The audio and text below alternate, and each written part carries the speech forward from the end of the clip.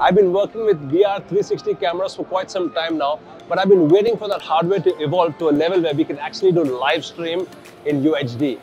Here we are with the Kandao Obsidian Pro, which is giving you 12K 3D VR cinematic cameras. Check this out.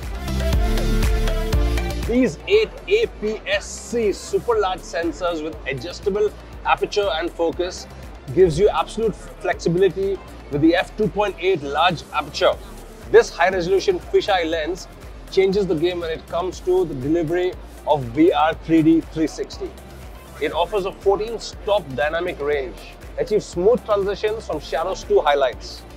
This was not possible before with a 3D VR.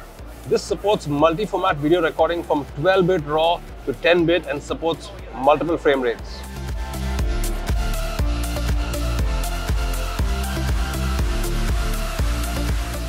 And this is the MeetMo.io, which is a cloud-native platform that works and syncs with those devices. This enables real-time remote collaboration and high resolution with ultra-low latency. This is an 8K beyond transmedia encoder for live stream to any device at high resolution.